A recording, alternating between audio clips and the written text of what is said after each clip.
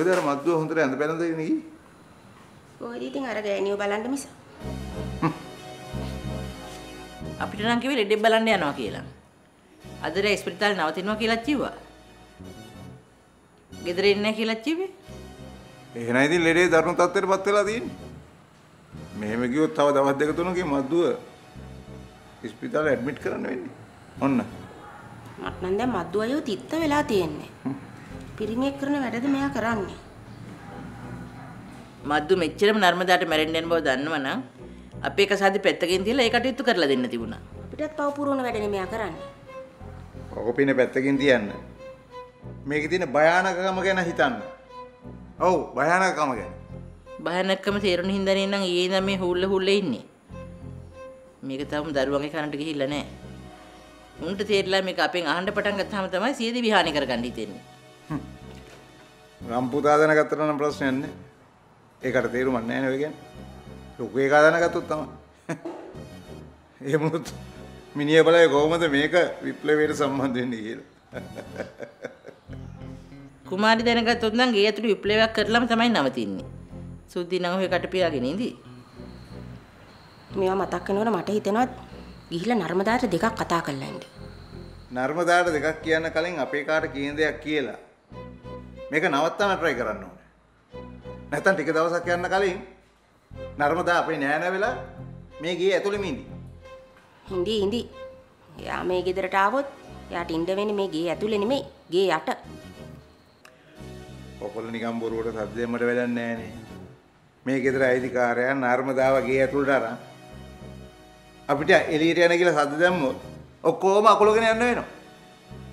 ඒකනේ වෙන්නේ. ප්‍රියන්තගේ කතාව හරියට හරි. මටත් ඊයේ ওই බය දැනුණා. අපේ මොඩය කොයි වෙලාවක හරි මේගේ නර්මදාගේ නමට ලියන්න බැරි නෑ. ඒ තරම් වෙස්සන්තරනේ. මිනිහා වෙස්සාන්තර නෙමෙයි. අදින්න පුබ්බකේ. මම ඔයගලන්ට එක උපදේශයක් දෙන්නද? ඕගලන්ට මේ වෙලාවේ එයාට කියන්න තියෙන්නේ මේ දෙකෙන් එකක් තෝරගන්න කියන එක. එක්ක නර්මදා නැත්නම් ගේ. එච්චරයි.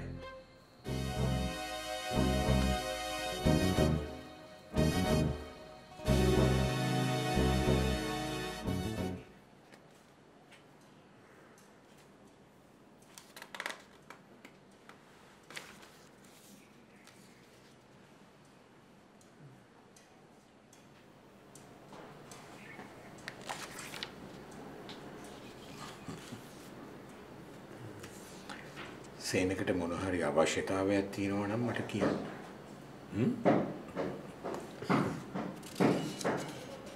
කම්මැලිකම යන්නත් එක්ක මම මේ පොත පොඩ්ඩක් කියවනවා. කමක් නැහනේ. එපා. මං හැරලා ඉන්න වෙලාවට එපා. මම මේ පොත කියවන එක සේනකට කරදරයක්ද? මං ආසයි කතා කර කර ඉන්න. අපි ටිකක් කතා කරමු.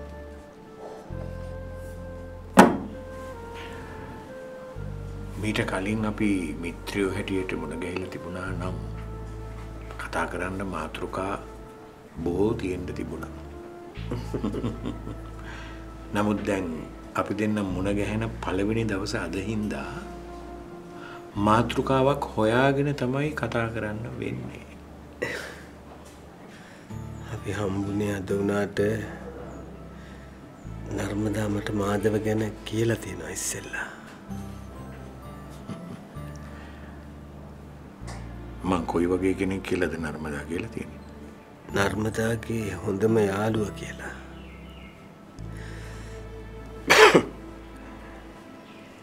නර්මදාට යාළුව ඉන්නේ හරිම පොඩ්ඩයි.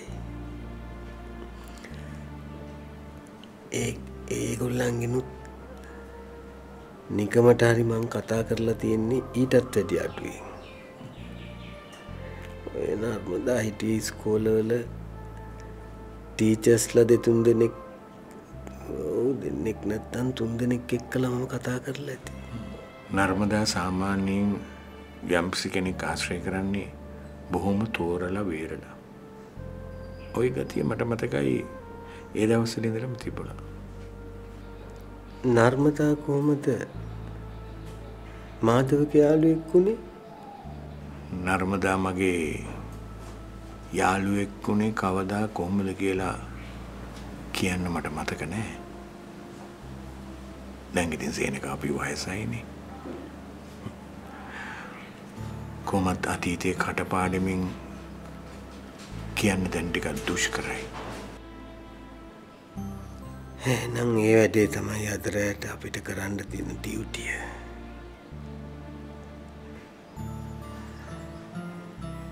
හමාරුවෙන් ඒ අතීතේ මතක් කරගෙන කතාවක් වගේ මට කියන්න මාදව. ඔයා ඉතින් නව කතාකාරයනේ. මතක නැති තැන්වලට කෑලි දාලා අලුතෙන් හදලා පිරෙව්වත් කමක් නෑ.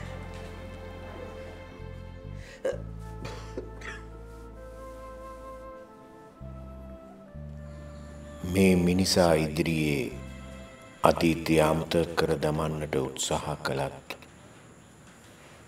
එය පිරිසිදු වතුර බිඳුවක්සේ මා දෑස් අගිස්සේ සටහන්ව තිබේ. මට කිසිවක් අමතක නැත. එහෙත් මෙය සත්‍යය ඉල්ලා සිටින මොහොතක් නොවේ. ප්‍රබන්ධය විසින් සත්‍යය යටපත් කළ යුතු මොහොතකි. ඉතින් මම මොහු ඉදිරියේ ඒ ප්‍රබන්ධය ගොතයි. නර්මදානම් පෙම්වතිය නර්මදානම් මිතුරියට සමාරෝප කරමින් සැලමුතු පෙම් කවක් අඹ යහළු ගෙත්තමකට හරවමි.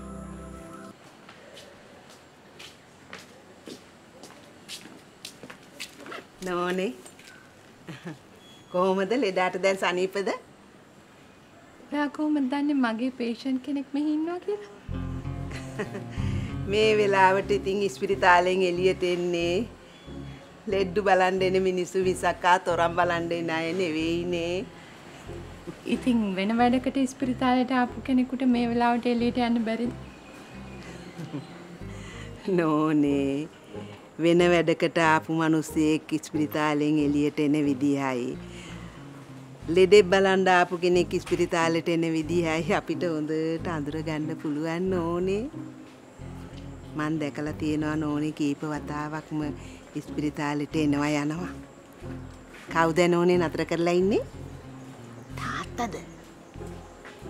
මහත්තයද? පුතාද එහෙම නැත්තම් වෙන මේ කවුරු හරි වෙන පිරිමි පරාණයක්ද ඔයා මහා පුදුම කෙනෙක්නේ. පේන බලනවා වගේ කොහොමද කියන්නේ මගේ පේෂන්ට් පිරිමි කෙනෙක් කියලා? මේ ඉස්පිරිතාලේ ගෑනු ආට්ටුවල ඇඳක් ඇඳක් ගානේ සිද්ධ වෙන දේවල් මට ඕනා කියන්න වාගේ කියන්න පුළුවන්. රෙජිස්ටරේ බලන්න නැතුව මට ගෑනු ආට්ටුවේ ඉන්න ගෑනු ලෙඩ්ඩු ටික මතකෙන් කියන්න පුළුවන් ඕනේ. මන් ඕනෙව ගෑනු ආට්ටුවල එනවා යනවා දැකලා නෑනේ. ඉතින් ඒ කියන්නේ නෝනෙගේ ලෙඩා අනිවාර්යයෙන්ම පිරිමියෙක්. මගේ හස්බන්ඩ්ව නතර කරලා ඉන්නේ. හරිනේ නෝනේ හරිනේ මං කිව්වා මේ මාත්‍යය වැඩ ටික බලා කියාගෙන නවතින්ඩ කෙනෙක් ඕන්නං මං ඔයල දෙන්නම් එහෙම කෙනෙක් නම් අපිත් හොයනවා. ඒත් තාම හරියන කෙනෙක් හම්බුනේ නෑනේ. හරියන්න කෙනෙක් කිව්වේ නෝනලෑ ගානට හරියන්න කෙනෙක්ද එම නැත්තම් වැඩේට හරියන්න කෙනෙක්ද ওই දෙකටම හරියන කෙනෙක්.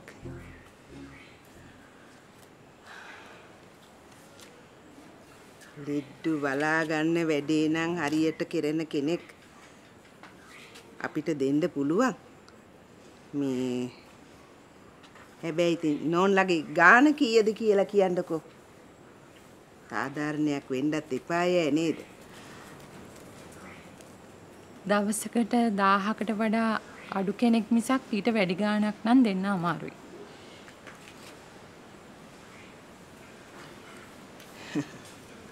නෝනලගේ අමාරුකනුත් ඉතින් අපිට නොතේරෙනව නෙමෙයි. අපේ වැඩේටත් සාධාරණයක් ඉෂ්ට වෙන්න එපාය මේ හැබැයි නෝනේ මේ ස්පිරිතාලේ අපි ලෙඩෙක් බලාගන්න නං රුපියල් එක්දස් පන්සීයකට. අනේ එච්චර නම් මට දෙන්න බැහැ. එච්චර එපා. හරි නෝනට දෙන්න පුළුවන් දාහයිනේ. තව අමාරුවෙන් හරි ඕකට තව රුපියල් දෙසීයක් එකතු කරලා එක්දස් දෙසීයක් දෙන්න. අපි වැඩි කරමු ඔය දාහ දෙන්නේ තමාරුවෙන් එකතු කරලා. එක්දස් දෙසියක් දෙන්න බැරිවේ. එහෙමද? හරි. අපි දාහට වැඩි කරමු. නෝනා. හැබැයි ලෙඩාට කෑම ගේනකොට බලාගන්න එක්කෙනාටත් එක කෑම් පාර්සලයක් අරන් එන්නකෝ. ඈ? නැත්තම් ඉතින් දවස් තුන් වේල පිටින් කණ්ඩ ගියොත් ඌ ගන්න දාහෙන් ඌට වැඩක් කරගන්න හම්බ වෙන්නේ නෑනේ නෝනේ ඒක නම් එච්චර දෙයක් නෙමෙයි. අද රෑට ලෙඩා ළඟ මගේ යාළුවෙක් ඉන්නවා. හෙට උදේ ඉඳන් නවතින්න කෙනෙක් හොයාගන්න පුළුවන් වුණොත් හොඳයි. හරි නෝනේ හරි මං එහෙනම් නෝරදුවාම උදේ හයට මෙතෙන්ට කෙනෙක් එවන්න. හොඳේ. මට නෝනේ මේ මේ ලියලා දෙන්නකෝ ලෙඩාගේ නමයි. ඇඳයි. ඒ- ඉන්න වාට්ටුවයි. හරි එහෙනම් උදේ 6 වෙනකොට මේ වන්න. හරි හරි හරි. හරි ආයේක දෙකක් නැහැ. හා හා. හොඳයි එහෙනම්. බොහොම ස්තුතියි. හොඳයි. ඊයේ